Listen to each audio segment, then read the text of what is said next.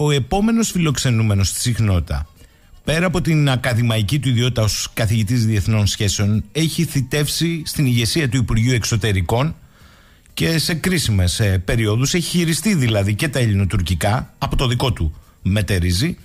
Εξακολουθεί όμως σήμερα με την ακαδημαϊκή του ιδιότητα να προσφέρει στο δημόσιο διάλογο και κόντρα σε αυτό το χαζοχαρούμενο θα το πω έτσι κλίμα μία οπτική που πολλές φορές δεν έχει, καταρχάς έχει πάρα πολλές γωνίες και δεν είναι εύκολη.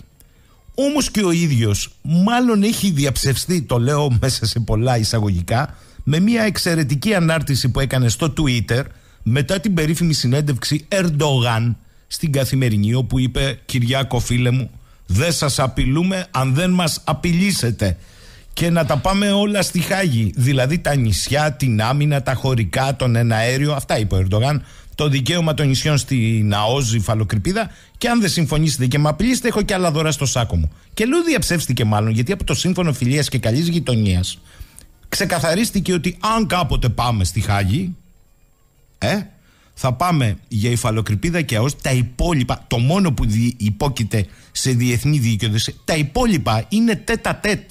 Τέτα τέτ. Αυτό λέει το σύμφωνο φιλίας. Καλημέρα κύριε Βαλινάκη. Καλημέρα κύριε Σαχίνη, καλημέρα στους ακροατές μας. Ε, αστειεύομαι λίγο, αν και είναι σοβαρή η κατάσταση, αλλά έχω την εντύπωση από αυτό το σύμφωνο χθες ότι εγώ αποκομίζω πως πλέον η συζήτηση για τα 12 ναυτικά μίλια κλείνει προς το παρόν, παρότι είναι αναφέρεται το δικαίωμά μας, λέω ένα παράδειγμα, για να μην διαταραχθεί το κλίμα ειρήνης στην περιοχή. Ε, κοιτάξτε, θα ξεκίναγα λέγοντας, ε, λαμβάνοντας υπόψη και τα όσα είδαμε χθες ε, στη συνάντηση αλλά και τα όσα ε, είπε ο κύριος Ερντογάν πολύ πιο κατατοπιστικά στη συνέντευξη στην Καθημερινή και βεβαίως όλα όσα κρύβονται πίσω από αυτόν τον επίσημο λόγο ε, ότι υπάρχουν δύο τρόποι να δούμε ε, τα όσα συμβαίνουν. Ο ένας είναι ε, αυτοί που πιστεύουν ότι η επικοινωνία είναι η πολιτική και άρα σε αυτή την περίπτωση θα πούμε ότι υπήρξε μια επιτυχία διότι όλα ήταν όμορφα, όλα ήταν χαρούμενα, ε, δύο χώρες που ξαφνικά έγιναν φίλες. Ε, ή υπάρχει ένας άλλος τρόπος, είναι αυτοί που πιστεύουν ε, στην ανάγκη αντιμετώπισης των σοβαρών προβλημάτων και που βγάζουν το συμπέρασμα από τα όσα έγιναν αυτές τις μερες ότι μετατέθηκε το, μετατέθηκαν τα σοβαρά προβλήματα στο μέλλον υπό χειρότερους θα έλεγα όρους διότι δυστυχώς αυτό συμβαίνει αρκετά συχνά στα ελληνοτουρκικά. Ε, άρα ε, αν η ερώτηση απευθύνεται στο ε, τι συμφώνησαν τα μέρη θα πω ότι η διακήρυξη των Αθηνών ε, που όλοι θα θέλαμε να είναι ουσιαστική και να δεσμεύει την Τουρκία δεν φαίνεται ότι είναι πράγματι ουσιαστική αλλά ούτε και να δεσμεύει την Τουρκία άλλωστε στο ακροτελεύτιο άρθρο λέει πολύ καθαρά ότι καμία πρόνοια της διακήρυξης αυτής δεν πρέπει να ερμηνεύεται ότι παράγει νομικά δικαιώματα ή υποχρεώσεις για τα μέρη, δεν αποτελεί διεθνή συμφωνία δεσμευτική ε, για τα μέρη κατά το διεθνές δίκαιο. Άρα είναι απλώς μια έκφραση ευχών. Ε, βεβαίως μέσα σε αυτή την έκφραση ευχών υπάρχουν ε, πράγματα που για ένα εξασκημένο ε, μάτι που μπορεί και διαβάζει μέσα από τις λέξεις βλέπει πράγματα τα οποία θέλουν συζήτηση, επιδέχονται ε, αμφιβολιών. Δηλαδή, παράδειγμα, τα μέρη λέει συμφωνούν να συμμετέχουν σε συνεχείς, υπογραμμίζω συνεχείς, δεύτερον επικοδομητικές και τρίτον ουσιαστικές διαβουλεύσεις. Με άλλα λόγια, λέει εδώ η Τουρκία στην Ελλάδα, σταμάτα να, ε, να ξεφεύγεις από τα προβλήματα, κάτσε στο τραπέζι και με σοβαρότητα, συνεχώς, επικοδομητικά και ουσιαστικά όπως λέει η συμφωνία, ε, να, να λύσουμε αυτά τα προβλήματα, δηλαδή όταν λέμε προβλήματα, της διεκδικήσης της Τουρκίας που έχει βάλει στο τραπέζι όλα αυτά τα χρόνια. Και ε, μιλάει επίσης για ένα πολιτικό διάλογο ε, ο οποίος αναφέρει, αναφέρεται σε θέματα αμοιβαίου συμφέροντος, δηλαδή οτιδήποτε μπορεί να βάλει η κάθε πλευρά και ξέρουμε τι θα βάλει η, η Τουρκία, αλλά δεν βλέπουμε η Ελλάδα να βάζει κάτι πέραν του γνωστού θέματος της οριοθέτησης. Ε, βλέπουμε επίσης τα μέτρα οικοδόμησης εμπιστοσύνης ότι περιλαμβάνουν μέτρα στον στρατιωτικό τομέα ε, που με μια ανάγνωση αν θέλετε ε, δεν θα έλεγα κακόπιστη αλλά πονηρή ε, μπορεί να οδηγήσει την Τουρκία να το επικαλεστεί ότι αφορά όπως λέει μέσα εδώ η διατύπωση να συζητήσουμε μέτρα που θα εξαλείψουν αδικαιολόγητες πηγές, πηγές έντασης καθώς και, το κινδύνου, καθώς και τους κινδύνους που απορρέουν από αυτές. Με άλλα λόγια, εγώ διαβάζω ότι αυτό φωτογραφίζει ε, το θέμα της ε, αποστρατικοποίησης, της δίθεν αποστρατικοποίησης των νησιών ή τουλάχιστον με αυτό το πάτημα μπορεί η Τουρκία να το βάλει στο τραπέζι ε, και δεχόμαστε να το συζητήσουμε. Στη συνέχεια και άλλα ακόμη υπάρχουν εκεί και πονηρά αν θέλετε διατυπωμένα τα μέρη δεσμεύονται να απέχουν από κάθε δήλωση, πρωτοβουλία ή ενέργεια που θα μπορούσε να υπονομεύσει ή να απαξιώσει το γράμμα και το πνεύμα της διακήρυξης και ή, ή να θέσει σε κίνδυνο τη διατήρηση της ειρήνης και της σταθερότητας της περιοχής. Εδώ τώρα η μεν Τουρκία θα ερμηνεύει, μπορούμε να είμαστε σίγουροι από την πρακτική της, οτιδήποτε κάνουμε εμείς ότι απαγορεύεται διότι δεν συμβάλλει στη σταθερότητα και την ειρήνη στην περιοχή, ε, όπως για παράδειγμα μια οριοθέτηση με μια τρίτη χώρα, ε, όπως έκανε και στο παρελθόν με την Αίγυπτο άλλωστε, mm-hmm. γι' αυτό και το λέω, ε, ενώ εμείς ε, δεν βλέπω να υπάρχει ε, η θέληση, η βούληση, ε, το σχέδιο να θέσουμε πράγματι θέματα το, στα οποία η Τουρκία ξεπερνάει αυτά τα οποία υπόσχεται τώρα ότι θα τηρήσει, δηλαδή να μην κάνει προκλητικές ενέργειες.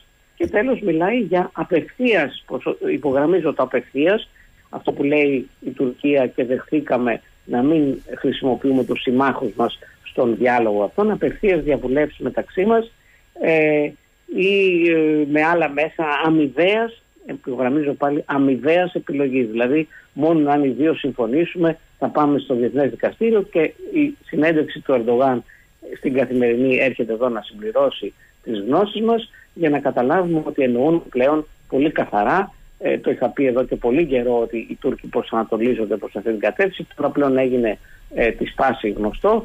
Ε, να πάμε όλα τα θέματα στη Χάγη δηλαδή και το σε ποιον ανήκουν τα νησιά μικρά και μεγάλα ε, το αν έχουν δικαίωμα άμυνας στα νησιά και ούτω καθεξής. Ε, Κύριε Γιάννη Βαλινάκη με συγχωρείτε. Δηλαδή αν θα σας κάνω μια υπόθεση εργασίας αν λέω αν το Roots Race βγει και δηλώσει ότι κάνει έρευνα σε κομμάτι που λέμε εμείς ότι είναι ελληνική ΑΟΣ, αλλά η Τουρκία λέει ότι αφού δεν έχει οριοθετηθεί δεν είναι τίποτα. Ε, ενοχλεί ή δεν ενοχλεί; Έρευνα, ε. Είμαι σαφής αυτό που λέω. Θα τα αφήσουμε από ό,τι καταλαβαίνω με αυτό το σύμφωνο. Ε, κοιτάξτε, είναι θέμα φυσικά ερμηνείας. Μπορεί να διαμαρτυρηθείς, μπορεί να προσπαθήσεις, έτσι θα έκανε μια ελληνική κυβέρνηση κατά τη γνώμη μου, να παρεμποδίσεις ε, να αποτρέψεις στην Τουρκία από το να προχωρήσει σε τέτοιες ενέργειες επικαλούμενος ε, την δήλωση αυτή. Το ερώτημα είναι τι κύρωση θα έχει να αντιμετωπίσει η Τουρκία ε, νομική ή επί του πεδίου αν δεν εισακουστεί η ελληνική πλευρά. Αυτό είναι το κρίσιμο ζήτημα πάντα. Η Τουρκία ξέρει να γράψει τα παλιά της τα παπούτσια διαμαρτυρίες, κυρώσεις, η απειλή κυρώσεων για να είμαστε ακριβείς γιατί δεν υπήρξαν κυρώσεις ε, οτιδήποτε ε, τη ζητούμε να το γράψει στα παλιά της τα παπούτσια, οτιδήποτε τη ζητάει η Ευρώπη, η Αμερική να το γράψει στα παλιά της τα παπούτσια, ενώ εμείς αντίθετα ε, είμαστε πολύ πιο διστακτικοί στο να, ε, για να μην πω τελείως διστακτικοί, στο να κάνουμε κάτι επί του πεδίου. Άλλωστε σας θυμίζω όταν ε, οριοθετήσαμε ε, την ΑΟΣ με την Αίγυπτο, τμηματικά έστω, δεν την υπερασπιστήκαμε αυτήν την ΑΟΣ εφόσον είναι πλέον δική μας κατά την συμφωνία με την Αίγυπτο, αναγνωρισμένη διεθνώς συμφωνία, υπογεγραμμένη από την Αίγυπτο. Δεν την υπερασπιστήκαμε την ΑΟΖ επί του πεδίου όταν οι τουρκικές στραγάτε στην περιοχή αυτή έδιωξαν τότε τα ερευνητικά σκάφη της Γαλλίας και της Ιταλίας που ετοίμαζαν την πόντιση ε, του αγωγού, την μελλοντική πόντιση του αγωγού του EastMed. Ε, όταν λοιπόν εμείς έχουμε ένα παρελθόν ε, μεγάλης διστακτικότητας για να μην πω κάτι παραπάνω απέναντι στις μονομερείς κινήσεις της Τουρκίας είναι λογικό να αμφιβάλλω ε, κατά πόσον αυτές οι, οι αποφάσεις ε, της διακήρυξης των Αθηνών οι εκκλήσεις θα έλεγα περισσότερο και η διακήρυξη αρχών ε, θα λειτουργήσει υπέρ των δικών μας συμφερόντων και όχι ε, υπέρ των τουρκικών. Ε, θέλω να σας ρωτήσω κύριε Βαλινάκη καταρχάς αν αισθάνεστε ότι από αυτό το κείμενο ενδυναμώνεται πια η πεποίθηση ότι δεν μιλάμε απλά για πολιτικό διάλογο αλλά για πολιτική διαπραγμάτευση. κοιτάξτε, δεν υπήρξε ποτέ ε, δεν υπάρχει νομικά η λέξη διάλογος. Ε, ο χάρτης των ΗΠΑ προβλέπει ε, τρεις κατά βάση τρόπους ε, επίλυσης των διεθνών διαφορών και μιλάει εκεί για διαπραγμάτευση μαζί δηλαδή με τη διεθνή δικαιοσύνη και τη μεσολάβηση στη διατησία. Μιλάει λοιπόν για διαπραγμάτευση, πολιτικές διαπραγματεύσεις. Αυτό κάνουμε εδώ και χρόνια, απλώς για λόγους που όλοι αντιλαμβανόμαστε ε, την ονομάζουμε, την βαφτίζουμε διάλογο γιατί ακούγεται καλύτερα. Πρόκειται περί διαπραγμάτευσης. Ε, και ας μην έχουμε καμιά αμφιβολία ή μάλλον να το πω για όσους έχουν κάποια αμφιβολία και θέλουν να, το, να μην το δεχθούν ας δουν την ανταλλαγή επιστολών που κάνει η Ελλάδα με την Τουρκία ε, στο θέμα για παράδειγμα ε, της αποστρατικοποίησης ε, μέσω ΟΗΕ με επίσημες επιστολές των ΟΗΕ. Εκεί μας έσυρε η Τουρκία, εμείς λέμε δεν συζητάμε αλλά το θέμα προφανώς και είναι, το διαβάζει κανείς αυτές τις επιστολές ε, και μάλιστα επί της ουσίας μπαίνουμε βαθιά στο θέμα αυτό και επαναλαμβάνω ούτε καν σε μια διμερή διαπραγμάτευση με επιστολές επίσημες στον ΟΗΕ. Άρα ε, ας μην κρυβόμαστε πίσω από το δάχτυλό μας, έχουμε μπει εδώ και καιρό σε διαπραγμάτευση, απλώς τη βαφτίζουμε ε, διάλογο ή διερευνητικές. Στην ουσία ε, είμαστε στο πρώτο στάδιο μιας ε, διαπραγμάτευσης επί της ουσίας, την οποία τώρα η τουρκική πλευρά πιέζει να γίνει όπως λέει και εδώ η διακήρυξη των Αθηνών, συνεχής, επικοδομητική και ουσιαστική. Δηλαδή με άλλα λόγια μην πετάτε την μπάλα στην εξέδρα για να το πω λαϊκά με καθυστερήσεις. Θα μπούμε στην ουσία να συζητήσουμε σε βάθος τα ζητήματα, συμπληρώνω εγώ, που έχω θέσει. Δηλαδή εγώ ως Τουρκία έχω θέσει. Ε, έχετε δίκιο και για τις επιστολές των ΟΗΕ. Απλά εγώ να σημειώσω, να επισημειώσω ότι από το Σεπτέμβριο του 2022 έχουμε αφήσει την τελευταία επιστολή της Τουρκίας του Συνηρίου Λογική ναι. αναπάντητη εμείς. Έχετε δίκιο και ε, κάτι λέει αυτό που δεν θα ήθελα να σχολιάσω δημόσια. Εντάξει. Ε, θέλω να σας ρωτήσω, επειδή σωστά ε, αναφερθήκατε στην ακροτελεύτια παράγραφο ότι δεν παράγει νομικά αποτελέσματα, δεν είναι νομικό κείμενο. Επειδή όμως και στη Μαδρίτη το 97 το ίδιο έλεγε, αλλά παρήγαγε πολιτικά αποτελέσματα, αισθάνεστε ότι είναι μια Μαδρίτη 2 αυτό το κείμενο; Ακριβώς αυτό θα ήθελα να σας πω από την αρχή και μπήκαμε σε, σε άλλα θέματα. Ε, βλέπω μια αναλογία ε, με την Μαδρίτη, με την ε, δηλαδή δήλωση εκείνη όπου η Ελλάδα για πρώτη φορά αναγνώρισε ζωτικά αμοιβαία συμφέροντα της Τουρκίας στο Αιγαίο και βλέπω αναλογία, αν θέλετε κάνοντας ένα άλμα βέβαια για το τι θα συμβεί, με το Ελσίνκι. μου έλεγαν προχτές σε μια εκπομπή ότι δεν πρόκειται λέει η Ελλάδα ποτέ να δεχθεί τον διάλογο εφόλης της ύλης.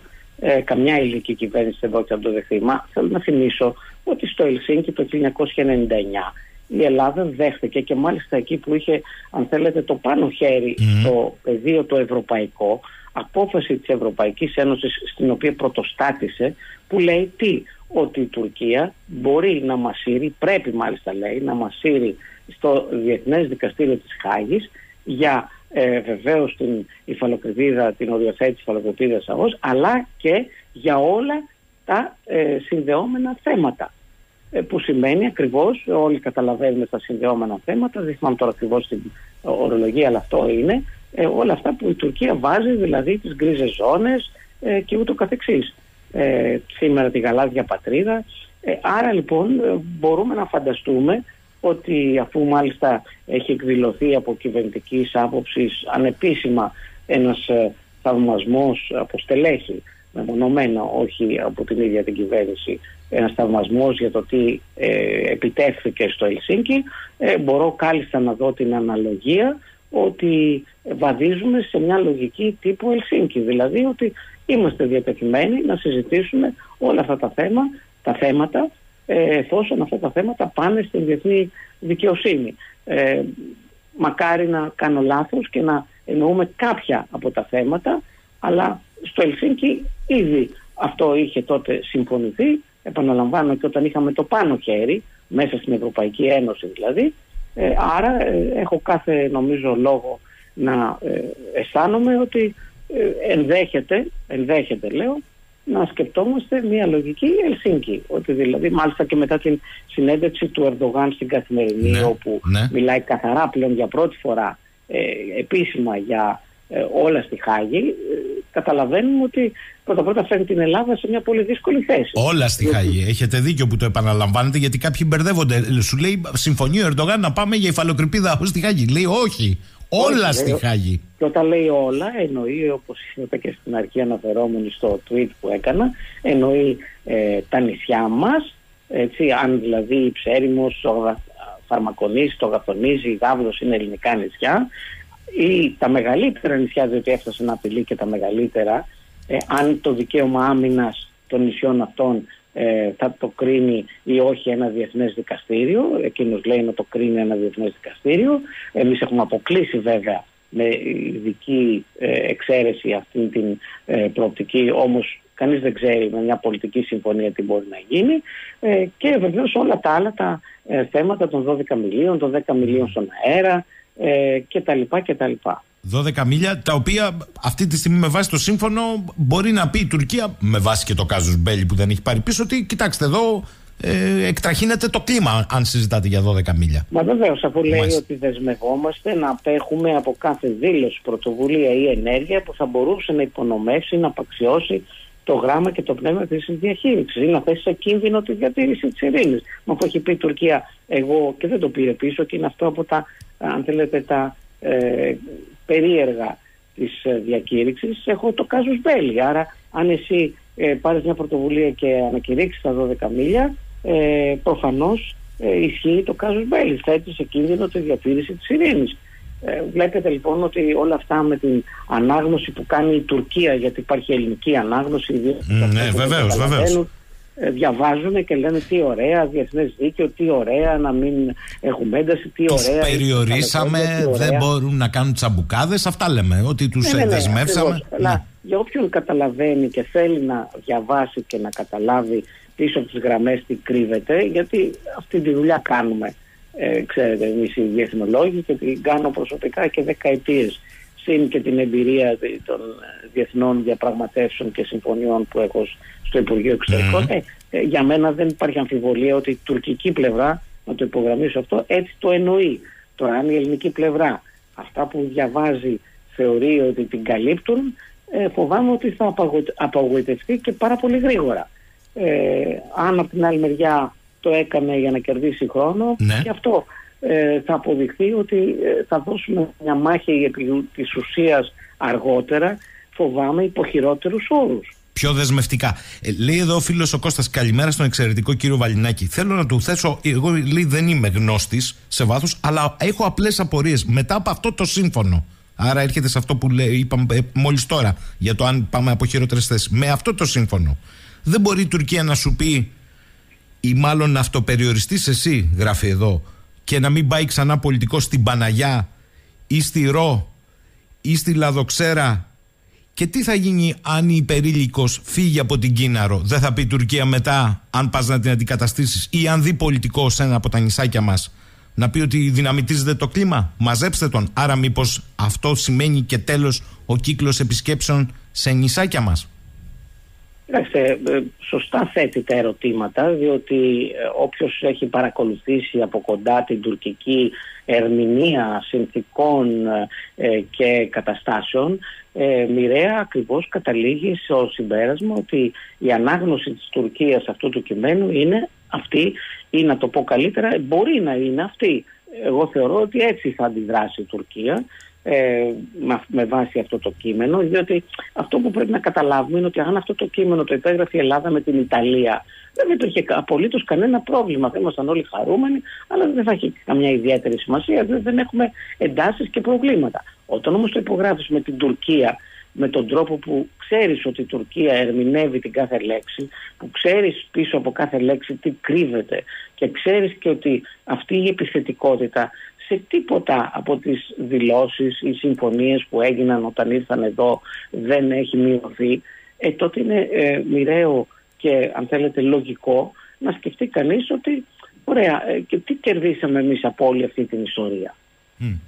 Έχω ένα συμπατριώτη σας εδώ, το Μιχάλη από τη Ρόδο, ενώ Δωδεκανήσι, ο οποίος στέλνει το εξής ερώτημα. Καλημέρα λέει, ερώτηση στον εξαιρετικό κύριο Βαλινάκη.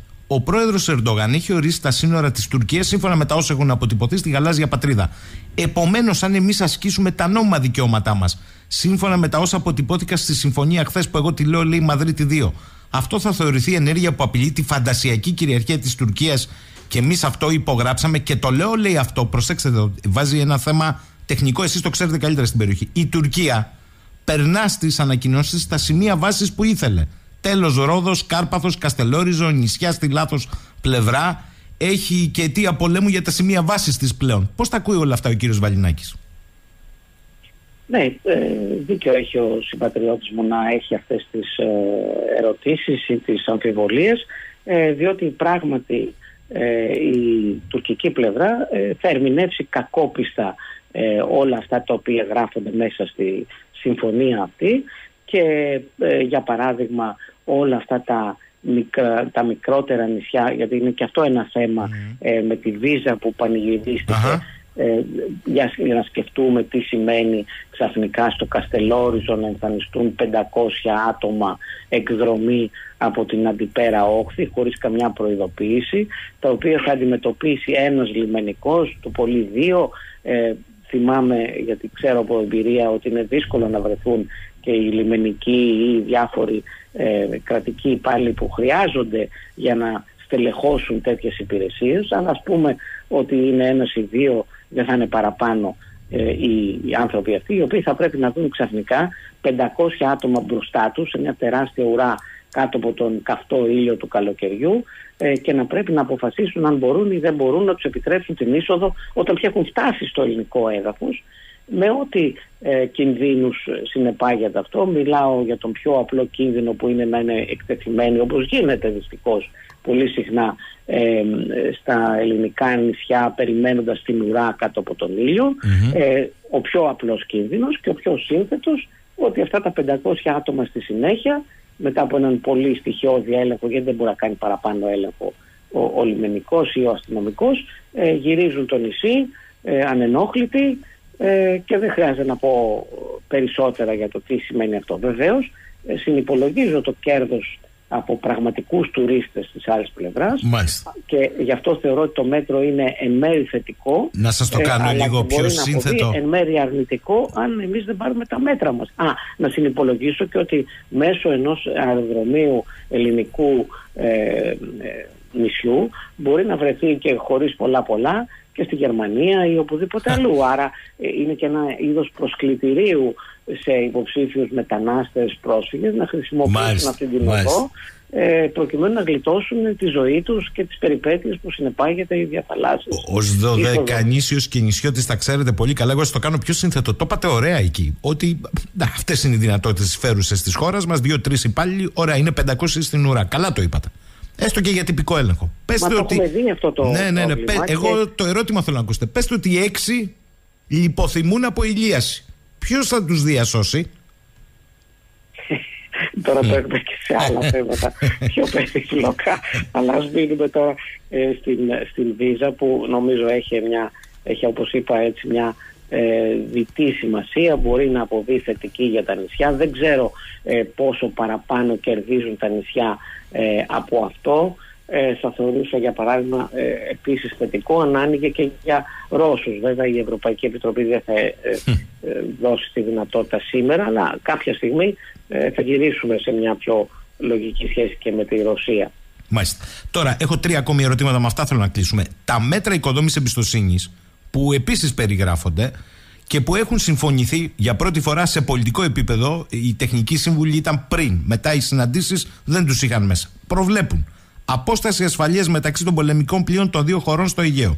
Τα πολεμικά αεροπλάνα δεν θα πρέπει να ενοχλούν τα πολεμικά πλοία με κανέναν τρόπο. Τα πολεμικά πλοία να αποφεύγουν επικίνδυνους ελιγμούς. Μείωση όσο το δυνατόν περισσότερο των ναύτεξ, οι οποίες είναι μεγάλης διάρκειας και καλύπτουν πολύ μεγάλες περιοχές. Μείωση των ε, subnotam για τα υποβρύχια, οι οποίες είναι μεγάλης διάρκειας τα ραντάρ των οπλικών συστημάτων των δύο χωρών να μην κλειδώνουν τα πολεμικά πλοία και προκειμένου τέλους να αποφευθούν επεισόδια στον αέρα μεταξύ των μαχητικών αεροσκαφών, να ανοίξει μια γραμμή απευθείας επικοινωνίας μεταξύ των αρχηγείων Εσκή Σεχίρ και Λάρισα. Γιατί δεύτερος ηλιάκης μάλλον δεν πρέπει να υπάρξει. Ερώτηση δική μου. Αυτά όμως δεν γίνονται σε κενό χώρο, κύριε Υπουργέ. γίνονται στη θάλασσα του Αιγαίου που πολύ σωστά είπατε πέρα κάποιων σαφώς αναγνωρισμένων, περιορισμένων όμως δικαιωμάτων και μάλιστα με μύτες για ζητήματα ως της Τουρκίας είναι κατά το μάλλον ήτον ελληνική θάλασσα. Ναι, ερχόμαστε σε αυτό που είπα προηγουμένως. Αν ο γείτονάς μας ήταν η Δανία, ε, θα είχαμε κάθε λόγο να βρούμε τέτοια μέτρα έτσι ώστε να υπάρχουν αμοιβαία ωφέλη.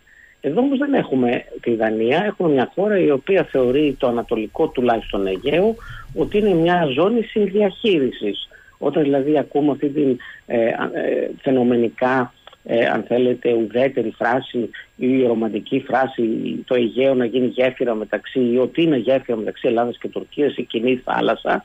Ε, ε, όσοι είμαστε υποψιασμένοι με την Τουρκία δεν το θεωρούμε και πολύ θετικό διότι καταλαβαίνουμε ότι όλα αυτά βοηθούν ε, στην ε, προσπάθεια της Τουρκίας η οποία είναι καταγεγραμμένη και σε χάρτη η γαλάζια πατρίδα mm. την οποία επικαλείται ο κύριος Ερντογάν. Δεν την ανέρεσε χτες που ήρθε εδώ κάθε, με κάθε άλλο θα έλεγα ε, σημαίνει ότι σε αυτή τη ζώνη του Ανατολικού Αιγαίου η Τουρκία θεωρεί ότι ήδη έχει αποκτήσει δικαιώματα στο πεδίο ε, και στο νομικό πεδίο μας έχει αποκλείσει από το να ασκήσουμε τα δικά μας δικαιώματα, ο Ζυφαλοκρηπίδα, 12 μίλια, ε, ένα αέριο χώρο που μας εμπόδιζε και ούτω καθεξής και κάθε μέρα με τα αλλιευτικά της, με τα σαπιοκάραβα, ε, με, τα, ε, με την προσπάθειά της να ε, δήθεν να διασώσει ε, κινδυνεύοντες ανθρώπους, ε, με τις δηλώσεις της, με, με όλα αυτά τα οποία κάνει, τις υπερπτήσεις, τα drones, με όλα αυτά προσπαθεί να δημιουργήσει και με νομικά κείμενα τώρα σιγά σιγά, να δημιουργήσει μια ζώνη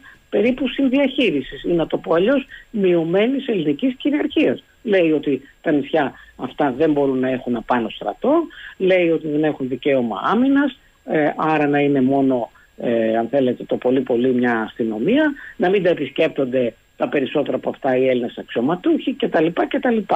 Ε, άρα λοιπόν ε, έχουμε να κάνουμε με ζητήματα καυτά, επικίνδυνα, στο οποίο δεν χωρεί κατά τη γνώμη μου ε, η λογική του να τα βάλουμε κάτω από το χαλί. Ε, βεβαίως εδώ έχουμε ένα πολύ κέριο ερώτημα το οποίο ε, το απαντούμε διαφορετικά νομίζω η κυβέρνηση ε, και οι υποστηρικτές της και εγώ από την άλλη μεριά ποιον συμφέρει το μορατόριο. Ακούμε από χθες ε, ότι το μορατόριο συμφέρει και τις δύο πλευρές. Συμφέρει και εμάς. Εγώ δεν το βλέπω πόσο μας συμφέρει παρά μόνο αν θεωρήσουμε ότι είναι συμφέρον μας η ησυχία. Πού είναι; Μέχρι εκεί. Απ' την άλλη η Τουρκία κερδίζει χρόνο ε, σε μια περίοδο που είναι στρατιωτικά πιο αδύναμη από εμάς, στην αεροπορία ειδικά. Ε, κερδίζει λοιπόν χρόνο, να επιλύσει το πρόβλημά της είτε με τα F-16 είτε με τα Eurofighter αναπτύσσει από την άλλη μεριά ταχύτατα τη δική της πολεμική βιομηχανία, τα δικά της όπλα, πυράβλους ε, και ε, τα διάφορα drones, τα μη επανδρομένα στη θάλασσα, υποθαλάσσια, στον αέρα και το καθεξής. Μπλοκάρει την Ελλάδα από το να σταματήσει τα κονδύλια της Ευρωπαϊκής Ένωσης, βλέπετε Ελληνιακή Ένωση που είναι πολύ σημαντική οικονομικά για την Τουρκία. Ε, μπλοκάρει την Ελλάδα από το να, ε, να, να, να παρεμβαίνει σε χώρες ευρωπαϊκές να μην στέλνουν όπλα ε, στην Τουρκία. Βλέπε Γερμανία σήμερα με τα υποβρύχια ε, αλλά και με το Eurofighter ε, παρεμβαίνει ώστε η Ελλάδα να μην χρησιμοποιεί το βέτο της ή να επιβάλλονται κυρώσεις στην Τουρκία, να παίρνει η, Τουρκία ε, τεχνολογία, να, παίρνει, να πάρει τα F-16 από την Αμερική, άλλο ένα πεδίο στο οποίο μπλοκαριζόμαστε αφού όλα αυτά θα ερμηνευθούν ως προσπάθειες να υπονομεύσουμε ε, την μεταξύ μας ειρήνη και σταθερότητα ε, να μπλοκάρει την μεταφορά βάσεων που φαίνεται ότι σχεδιάζουν οι Αμερικανοί από το Egypt League ε, προς την ελληνική πλευρά.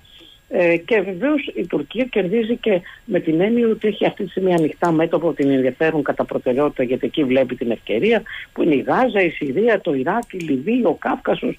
όλα αυτά λοιπόν ε, είναι για μένα αν τα βάλουμε στη σωστή του σειρά κέρδη για την Τουρκία από το μορατόριο έναντι του ελληνικού κέρδους που είναι τα ήσυχα καλοκαίρια. Και έχω πει ότι μια στρατηγική που ε, αποκλειστικά σκέφτεται τα ήσυχα καλοκαίρια και εκπέμπει μια φοβικότητα, γιατί ακούω πολλούς και λένε δεν φοβόμαστε. Ε, πώς δεν φοβόμαστε όταν συνεχώς η, η, καραμέλα πολιτικών και ε, δημοσιογράφων είναι ε, προς Θεού μη χαλάσει η, η η ατμόσφαιρα του ήπιου κλίματος με την Τουρκία ε, λες και ε, πρέπει οπωσδήποτε το ήπιο κλίμα να σημαίνει και ότι πρέπει να δίνουμε κάθε φορά κάτι στην Τουρκία για να διατηρείται αυτό το κλίμα. Ε, λοιπόν, εδώ μόλις προχθές, ε, κύριε Βαλινάκη, δεν ξέρω αν το πληροφορηθήκατε, ακυρώσαμε διαγωνισμό για τους εκτοξευτήρες στα νησιά. Βεβαίως με άλλο πρόσχημα, αλλά. Ναι. δεν θέλω να τα λέω αυτά δημόσια. Ε, το λέω εγώ. Δεν, το λέτε εσείς. Δεν θέλω να ναι, δίνω ναι, επιχειρήματα. Εντάξει, ε, αλλά για να καταλαβαίνω. Επισημένω, ναι, ναι. επισημένω αυτά τα δημόσια που λέγονται. Δηλαδή, σας λέω πολύ απλά, όταν όλοι οι πολιτικοί και ε, τα συστημικά μέσα εκπέμπουν αυτό το μήνυμα ότι προς Θεού μην κάνουμε τίποτα γιατί θα χαλάσει το ήπιο κλίμα. Ε, τότε είσαι μια χώρα η οποία ε, κινδυνεύεις να γίνεις στην Ελλαδοποιημένη.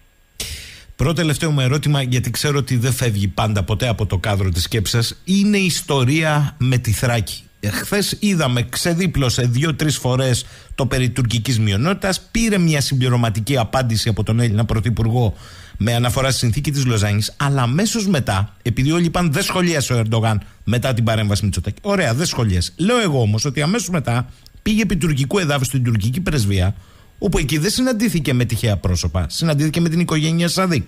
Συναντήθηκε με τη συμβουλευτική της αποκαλούμενης Τουρκικής Ένωσης Δυτικής Θράκης, με δύο μειονοτικούς βουλευτές, με τους ψευτομουφτίδες. Εδώ τι έχετε να μας πείτε; Σωστά το λέτε, το είχα επισημάνει και εγώ χτες. Δηλαδή το θέμα δεν είναι αν συνεννοημένα η μία πλευρά είπε η μειονότητα είναι τουρκική και εμείς συνεννοημένα απαντήσαμε ότι είναι μουσουλμανική. Ε, υπάρχουν πολλά που πρέπει να δούμε γύρω από τις δηλώσεις αν τις προσέξουμε ε, μεταξύ των οποίων ότι δείξαμε ε, πρώτον μας είπε στις δηλώσεις ο κύριος Ερντογάν ότι πρέπει να κάνουμε περισσότερα ε, για τη μειονότητα ε, ενώ εκείνος φυσικά δεν θα κάνει τίποτα ε, για τις δικές του μειονότητες, τις οποίες εγώ θα συμπεριλάμβανα και το κουρδικο Ε, εμείς λοιπόν ε, από την άλλη πλευρά ε, στην ανταπάντηση του Πρωθυπουργού, σωστά είπε βέβαια ότι πρέπει να, ε, να θεωρείται μουσουλμανική λόγω των συνδικών, είπε όμως ότι κάνουμε πολλά και υπονόησε ότι μπορεί να γίνουν και περισσότερα. Και ε, βεβαίως έρχομαι σε αυτό που είπατε, στη συνέχεια η απάντηση του Ερντογάν μετά την απάντηση του κυρίου Μητσοτάκη ήταν δέχεται στην τουρκική πρεσβεία μια ε, σειρά ολόκληρη. Είδαμε τη φωτογραφία ε, παρόλο που τα συστημικά μέσα προσπάθησαν να την, υποβαθμίσουν αναφερόμενοι στη δήλωση του Αταμάν του ναι, προπονητή ναι, ναι. Ε, και αυτό ήταν το ζήτημα πράγματι λοιπόν μέσα βλέπει κανείς τους ε, ψευδομουστίδες ε, Ξέρουμε, γιατί εγώ δεν την αναγνώρισα, ότι ήταν η οικογένεια Σαδίκ και όσοι ξέρουν από το παρελθόν ξέρουν ότι ήταν η πιο ακραία έκφραση ε, της μειονότητας εναντίον του ελληνικού κράτους. Ε, ήταν δε επίσης πολλοί άλλοι παράγοντες που νομίζω ότι είναι στη λίστα ε, των ε, ε, φίλων, για να το πω έτσι σε εισαγωγικά της Τουρκίας. με άλλα λόγια έδωσε μια απάντηση στο ελληνικό κράτος ε, για το πώς βλέπει εκείνος το μειονοτικό ζήτημα, έστω και αν αυτό δεν έγινε με επίσκεψη στη Θράκη, ε, αλλά έγινε με επίσκεψη τους στην ε, τουρκική πρεσβεία. Μάλιστα. Και θέλω να κλείσουμε με ένα θέμα που ξέρω ότι είναι πάντα μία από τις βασικές σας αναφορές και λέγεται Κύπρος, Κυπριακή Δημοκρατία, Κυπριακό. Τι καταλάβατε; Ναι, και εδώ προφανής είναι η διαφορά απόψεων ανάμεσα στην Ελλάδα και την Τουρκία. Επαναλήφθηκε ε, όμως εγώ θα τονίσω ε, ένα σημείο που θεωρώ ότι είναι και το κλειδί του προβλήματος. Η ΜΕΝ Τουρκία μιλάει για πραγματικότητες στο νησί. Η ΔΕ Ελλάδα, η ΔΕ Ελλάδα λέει ξανά για αποφάσεις των Ηνωμένων Εθνών. Ε, εντάξει, ε, εγώ έχω όπως ξέρετε μία άποψη σε όλα αυτά ότι ε, η Ελλάδα πρέπει να, να σκέφτεται ε, όχι απλά το διεθνές δίκαιο γιατί βεβαίως είναι ένα όπλο των μικρότερων κρατών και βεβαίως πρέπει να είναι όπλο και της Ελλάδας όμως το υπέρτατο κριτήριο για κάθε τι που κάνουμε και κάθε τι που σχεδιάζουμε πρέπει να είναι τι προωθεί το εθνικό συμφέρον. Συνεπώς ε, πρέπει να είμαστε προσεκτικοί γιατί πολύ φοβάμαι ότι σε λίγο καιρό η Τουρκία θα πετύχει από τα Ηνωμένα Έθνη μια νέα μεσολάβηση η οποία πάλι θα ροκανίσει ε, τη, τη δική μας πλευρά και θα δώσει περισσότερα στην τουρκική πλευρά η οποία αποσκοπεί, θα το πω πολύ σύντομα για να κλεισουμε ε, να μας δώσει ένα δίλημα μεταξύ δύο υπαρκτών λύσεων γιατί η διζωνική, η δικοινοτική κτλ. δεν υπάρχει στο τραπέζι κατά αυτούς, δηλαδή ή δέχεστε μια συνομοσπονδία την οποία θα τη φτιάξουν πρώτα δύο αναγνωρισμένα διεθνώς κράτη, η λεγόμενη του Δουμπουκού και η Κυπριακή Δημοκρατία από την άλλη, στην οποία η Κυπριακή Δημοκρατία ήδη έμεσα έχει ένα πόδι ε, νομικά με βάση τη συνθήκη Ρίξη Λονδίνου η Τουρκία. Αυτές οι δύο θα φτιάξουν καινούρια ε, οντότητα ή αυτό είναι η λύση λοιπόν της εξελιγμένης ομοσπονδίας όπως λένε μερικοί, καθαρής συνομοσπονδία, δηλαδή θα ομοσπονδιωθεί θα ομοσπονδιωθούν τα, 80, τα 800.000 των Ελληνοκυπρίων με τα 84 εκατομμύρια των Τούρκων. Ε, ή, ή λέει τα δύο κράτη και προσέξτε εδώ μερικοί στη δική μας πλευρά νομίζουν ότι τα δύο κράτη σημαίνει η Κυπριακή Δημοκρατία η σημερινή μεταξελισσόμενη σε Ελληνοκυπριακή Δημοκρατία και οι άλλοι στο Βορρά. Δεν εννοεί αυτό. Εννοεί ο Βορράς πλήρως τουρκικός και ο Νότος Κυπριακή Δημοκρατία του 60 με δικαίωμα δηλαδή επέμβασης, εγγύησης κτλ. Μάλιστα, μάλιστα. Αυτό είναι κρίσιμο. αυτό μιλάμε. Κύριε Βαλινάκη, αφού σας ευχαριστήσω, υπάρχει μια προσωπική εντελώς ερώτηση από το Λονδίνο έρχεται.